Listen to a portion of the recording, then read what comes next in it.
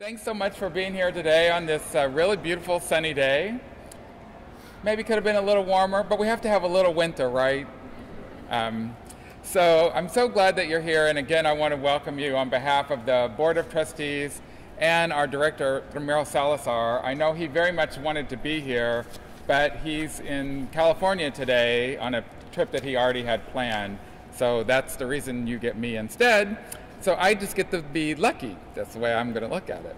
So I'm Dale McNeil. I'm one of two assistant directors here at the library, and I'm very glad to be here today to welcome you and to welcome Mayor Ron Nirenberg and his family to join us to um, give some remarks uh, to talk about the mayor's uh, book club. In addition, I'd like to thank all of the staff, many of them are here, who've been working hard for a few months to make this program come together. When we first heard the idea, we sort of took a deep breath and thought, um, is that going to be possible? But then we thought it'll not be only be possible, it'll be fun. So, and I think you'll see that that's um, going to be the result, that it will be fun and something really interesting and engaging, um, really for the whole of this, of this year. And in addition to the remarks today, I mean, some of you probably came just for that, but there's also going to be activities that you can do after this um, um, press event or this uh, program. I'd also like to thank the San Antonio Public Library Foundation who provided some of the funding um, for the, um, this unique book club. At this moment, I'd like to recognize uh, Jean Brady from the Board of Trustees. Thank you, Jean, for being here. And Assistant City Manager Lori Houston, who came, took time from her very busy schedule to join us. Thank you so much. Today, we're going to share details about Our Family Reads, the Mayor's Book Club, a community-wide reading campaign. Our Family Reads, the Mayor's Book Club, encourages families in the community to read along with the mayor, his family, and members of the City Council and their families on some of their favorite topics and to cultivate a community experience through reading and discussion. This unique book club, we really don't know of another book club like this anywhere. Probably there is one because there's no new idea, but we don't know of another one. Um, we'll focus on a different topic each month, a topic chosen in this first month by the mayor, and then in each succeeding month by a member of the City Council. Readers like yourselves are encouraged to check out books. We have books available here and books on displays and books at all of our branches and electronic books. You're encouraged to check out books for any member of your family. We have books chosen from picture books for the very youngest to books for adults as well on each topic. Some fiction, some just for fun, some pretty serious nonfiction books. This month, uh, Mayor Nirenberg is kicking off our Family Reads program. The topic he has chosen is unity. And at this moment, I'd like to introduce our board chair, Mr. Paul Stahl, and invite him to make a few remarks. Thank you.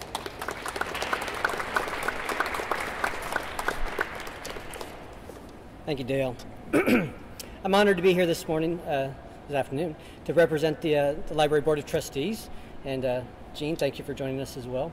Mayor Nirenberg, thank you so much for your leadership and uh, and for involving your family in this beautiful initiative. Um, this is a, a, a, real favorite of mine uh, every year when we can really rally the city around, um, you know, really focusing on the library and books, and specifically um, specifically this this type of a program that can include the entire city.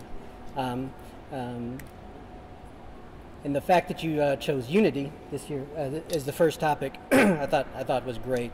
Um, it allows us to reflect on inclusiveness.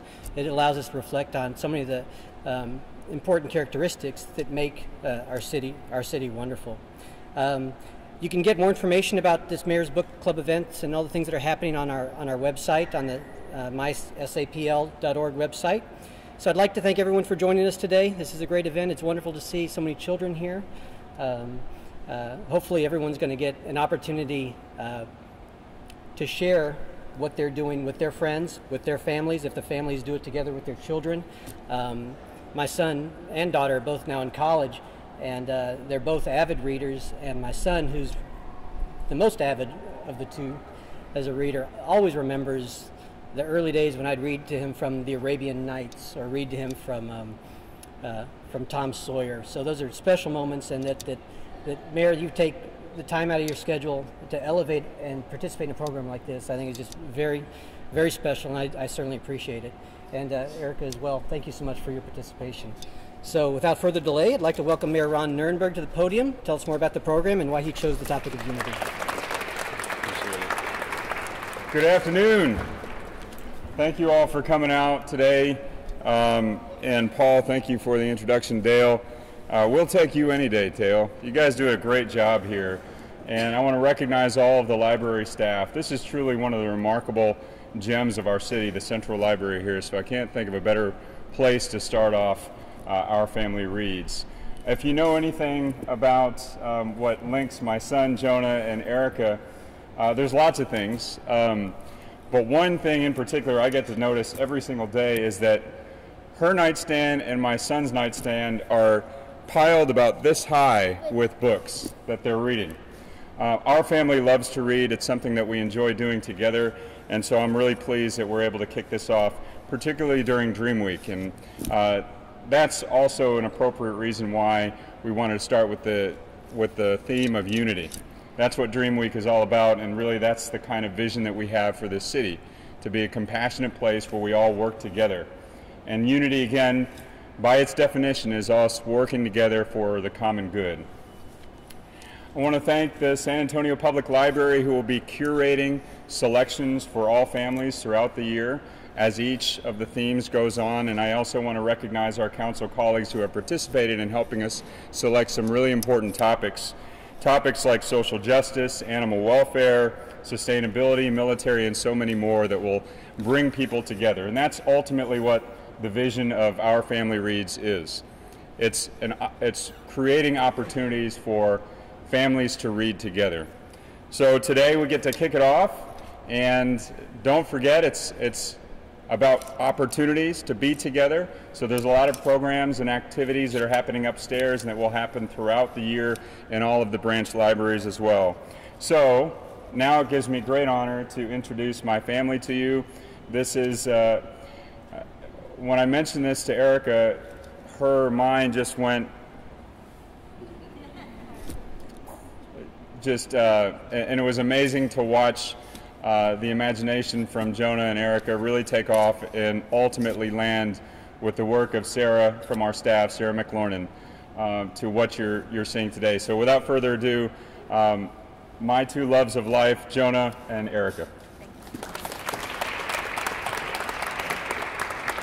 Thank you, everybody. I do want to start off by thanking the library staff. This is an amazing thing, and it is unique in many ways because I think as a city, we want to believe, and we are spread out. The truth of the matter is, you know, we are 10 districts and spread out. And so this is a beautiful way to thread what each person cares about, even if they are spread out, what your representatives think is important. And I think the library staff did such an amazing job of coordinating and working with Sarah McLornan and ma- making sure that what we have here is the start of unity. That is why we kick it off with unity. Because to really ensure unity, you have to know a little bit about each other, right? You can't just automatically say, Hi, nice to meet you, we're united.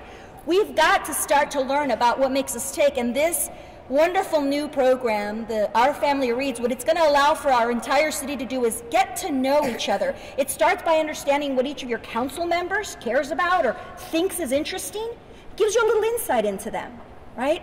And then it starts with you taking your family to the library and with all the array of books that they have with different ages and even Spanish titles, allows for you as a family then to figure out what unites you, at least this month. But believe it or not, even though unity is the theme for January, we're hoping that what it does is throughout the year allows all of us to stay united as a city and understand what makes us tick.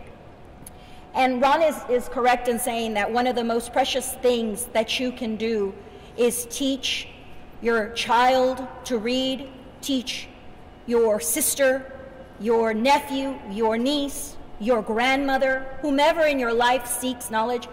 Because knowledge isn't just about knowing things, it is about, quite frankly, understanding another person's point of view.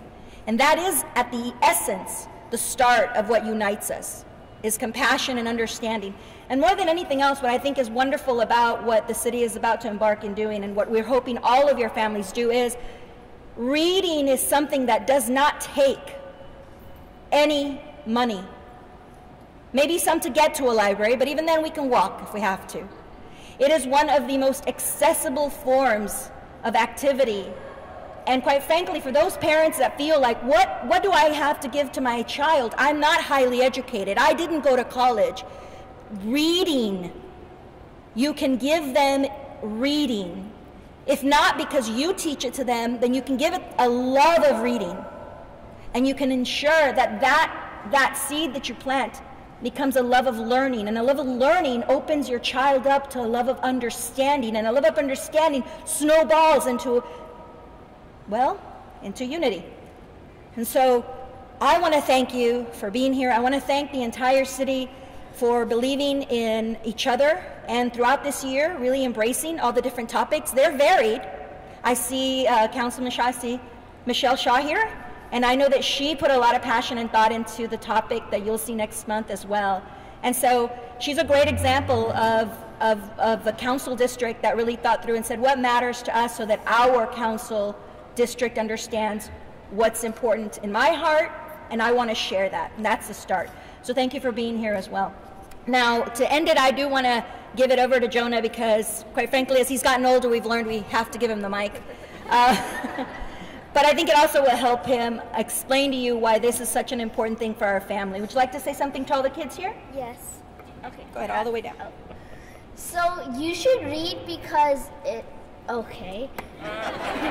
Oops. Okay, never mind. You should read because it gives you imagination, and imagination, well, you have to use it a lot in your life. Um, how can I get down from here? Okay. Thank you all.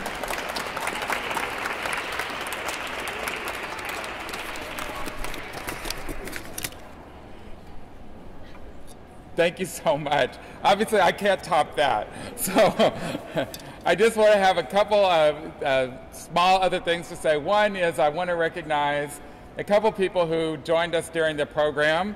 One, of course, um, the former Secretary of Housing and Urban Development and Mayor, Julian Castro, is here.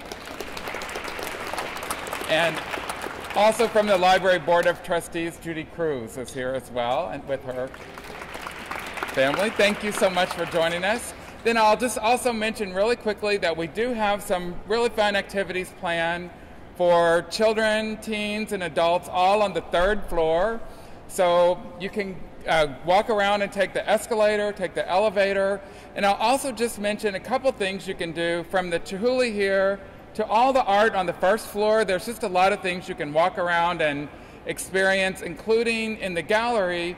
We have going on this month our Holocaust Learn and Remember program, and the exhibit in the gallery is the heart of that, of looking at the experience of the Holocaust through art.